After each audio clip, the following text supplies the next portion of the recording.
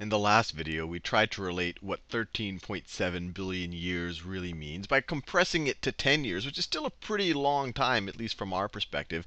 And we saw that these huge periods of time, everything that's happened since the declaration, the United States Declaration of Independence, all gets compressed into just five seconds. And that's, you know, that's that's not much when you think about 10 years. I mean, 10 years, you could wait around a lot. That's a, that's a huge amount of time. So hopefully that put things put things in perspective a little bit. What I want to do in this video is kind of do the same thing, but relate the 13.7 billion years, if that were a distance or the length of a timeline, how big each of these periods would be. So just to start off, if the timeline I'm recording this in high definition right now. There's there should be 1280 pixels wide, depending on where you're watching it. So maybe you're watching it on a high def TV.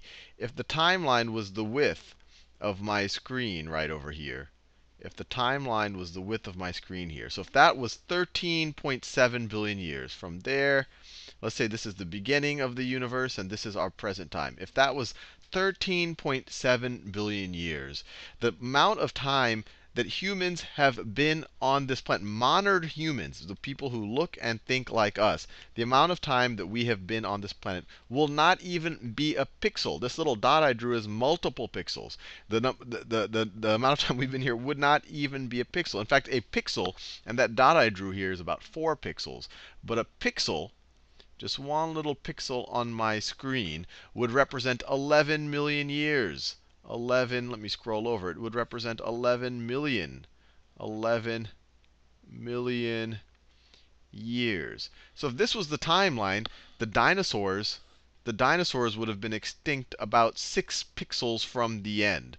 So it would be right about so 6 pixels from the end is when the dinosaurs would have gotten extinct. And the amount of time that modern humans are on the planet wouldn't even register here. It would be 1 20th of that pixel over there. In fact, we could, if we just expanded that very last pixel, if we were to expand that very last pixel, I'll do it in yellow, that very last tiny pixel that you can't see, if we were to expand that to the entire length of this screen again, if we were to, so if we were to just expand just that very last pixel, so I'm, I'm saying everything on this yellow line could be contained in that very last dot right over there. Then every pixel in this, then every pixel in this would still be, would still be 8,000 8,000 years. So the entire period of time that humanity has been on this planet on this scale on this scale. So we've broken out this little tiny pixel here all the way out here, 200,000 years. That's on the order of about 25 of these pixels. So 25 of these pixels would be uh, something like something like that. Not probably not even that. Not even that. So 25 pixels on this screen at least at my resolution, is about that distance. So this is the fraction of just that pixel. That is the amount of time humans have been on the planet. If you want the time since Jesus, it would be one fourth of a pixel on this yellow scale. On this yellow scale, it would be one fourth of a pixel.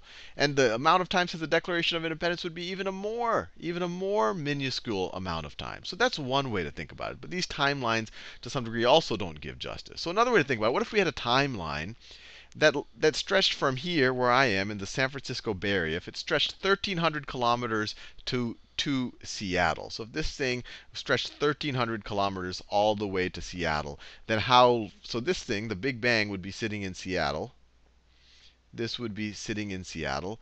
The, the universe, well, the universe, uh, uh the, the formation of the Earth and the solar system, this would be about about 200 kilometers away, a little over 200 kilometers. And in the direction of Seattle, I don't know, that would get us in probably some part of northern California with redwoods and, and whatnot. But just to give an idea of 200 kilometers, that would get me from where I am at near the coast of California to about the Nevada border. So still a pretty good distance relative to the entire timeline the the dinosaurs, the the the eh, the last land dinosaurs, when the dinosaurs, when the Earth got hit by an asteroid, this. So remember, the, our whole timeline now stretches all the way to Seattle.